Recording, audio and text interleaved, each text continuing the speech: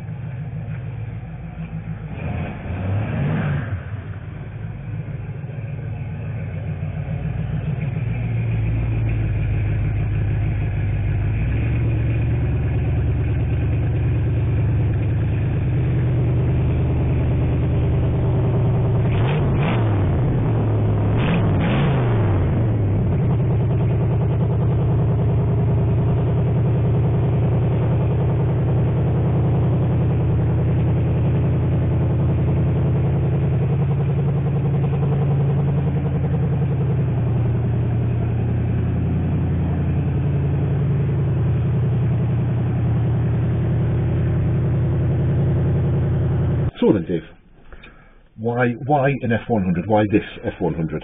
Um, because I'm in love with the V8. hmm Um, uh, a friend of mine um, kind of dangled the, the carrot, Yeah. kind of dangled the carrot, and um, I have another American V8 Yeah. which is undergoing a major um, custom resto mod type Right. job, and that's going to be off the road for a fair while, and and I felt the need for another V8.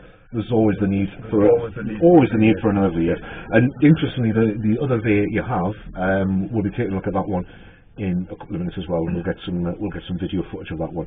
Um, what we'll do, we'll give you a quick look at the interior of this that we're currently sitting in. Uh, give me a second. So this is the interior of the F100. Uh, as you can see, it has an aftermarket aircon system, which at the moment isn't working, which is uh, typically normal for anything American. But it's the, the normal dashboard cracks on the top there, which isn't uh, too much to worry about. Um, but we've got the lovely elongated gauge for the speedometer, and then there's the ashtray, the radio. And the interesting thing that we've discovered though, if you can make it out, is this little box down here. Now that there, we're not quite sure what that is or what it's supposed to do. It's attached to the dashboard, thinking it's something aftermarket. So if anybody knows anything about these, uh, what they do, what they should be connected to, or, um, or, or what they come from, if um, if you want to quickly let us know, uh, leave it in the comments underneath and let us know what's going on with that one. And then obviously we'll uh, we'll pass that information on to Dave so he knows exactly what it is that's uh, attached to the dashboard on the chance we can't find out from anywhere else. So this one at the moment, it's the um, it's well patinaed. Uh, there's obviously the sun beating down on it in the states has, uh, has taken care of a lot of the lacquer and the paint. Um, do you have any plans for it, Dave, and what you're going to do with it? Um, make it safe to drive Mhm. and drive it. It's just going to burn the tyres off it and enjoy it. it. At the moment, as I say, this is me. This is me V8 fix while the other one's being done. Um, I am a spray painter, and I have to admit, when I got home last night, I was driving home in the little shoebox thing, thinking, hmm, black tulip or something like that would be really nice. But to be honest, at the moment, uh, there's a couple of things I need to do on the truck to get it roadworthy, um, and then it's just just drive it and use it until the the 50 panels finished.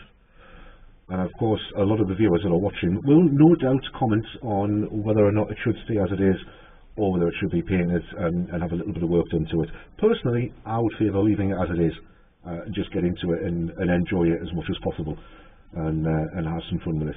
But um, we'll we'll shut this bit off there for now, and uh, we'll, I'll do a little bit uh, a little bit more pieces to camera later on with regards to this one, and I think we'll uh, we'll head inside and have a look at the F, uh, the, the, the 50s panel that's sitting in there as well.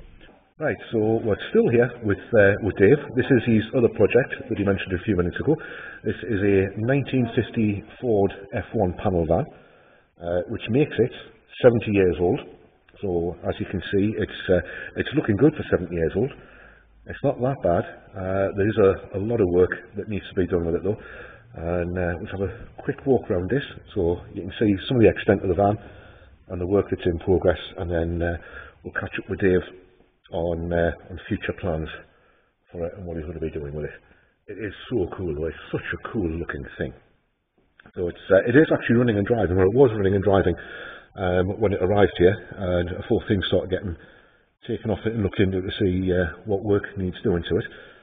So uh, it's very nice though. It's very worthwhile having. As you can see, there's lots of bits and pieces lying around at the moment. So uh, Dave's next to us now. So with this particular one, Dave, um, what are your plans with this one then? This one is complete resto. Um, when I bought it, it was, well, as you know, you- you're one of the first people to see me drive it. Um, it was satin black, and I hate satin black. Uh, I hate it with a passion. To me, anything satin black has been painted like, like I hate something. Yeah. Um, so the decision was made to uh, originally just get the paint sorted out and drive it. Um, and as you can see, six weeks with Mr. Angry, Angry Grinder Yeah. and uh, all the fillers of it. It has to be said that I was less than impressed by the original American restoration. Mm. Um, they've done an awful lot of bodge as far as I'm concerned. Um, as I say, when it arrived, it had a 327 Chevy in it, which it's still got. Um, I made the mistake of asking on one of the Facebook pages, what's the big deal with the Ford having a Chevy in it? I think I'm banned from one page, but never mind. Um, it was truly awesome, cooler than Penguin Poo, um, and an absolute nightmare to drive. Yeah. Um, 70 year old steering system, braking system, um, set of leaf springs and coilovers on the back, which we still haven't worked out that one, why, why it, it does that. Um, so the decision was made once I realised how bad the, the, and how much filler, how bad the repairs were to it, was to take it down to bare motor bones. And at that point, um, it was change it to right hand drive. Once again, it's a Frankenstein. There's bits of all sorts on it, so it was like, right, jag front end, jag rear end, and uh, make it right hand drive. Purely and simply because we drive on the proper side of the road over here, and it was an absolute nightmare driving it with left hand drive being a panel. Yeah. You have virtually no no vision, and it was it was a, a, a lottery every time you want to overtake anything on it. Okay.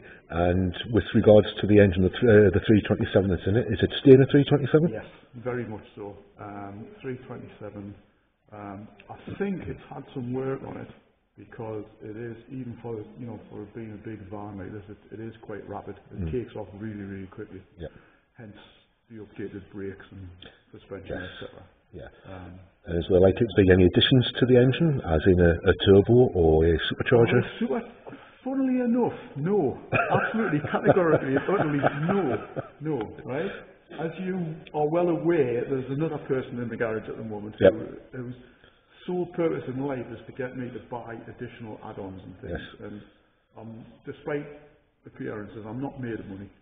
Uh, I'd love, I'd love to have the full supercharger and scoop and all the rest of it on it, but eight mile to the gallon or even less, because it will be a daily driver on it's Yeah. Um, it's just not practical. So as usual, it's even though it's a it's a fun vehicle at the end of the day, and there's a lot of work to do here. But when it's all finished, it still comes down to economy. Uh, if you're going to drive it every day, you want something that's going to give you a reasonable about, amount of mileage, preferably in double figures rather than single figures. So um, it'll be nice to see it when it's all done. And um, what we'll do on the channel, give me a couple of moments here. What we'll do is we'll uh, we'll keep you updated on uh, on Dave's progress with the van, and uh, as things change, we'll be here to film various things of it. It really is the early stages. Uh, it's all been stripped down, and uh, he's found some some little bits of horror stories, which is always a bit disheartening, especially when you think you bought something that's really cool. Although, having said that, it is, as he said, still as cool as, uh, as Penguin Poo. Really is. It'll be even better to see it on the road when it's all complete. But we'll be definitely visiting back here quite often and, uh, and keep everybody updated on the progress of the van as and when it happens. And obviously the same with the pickup as well, should anything change with the pickup.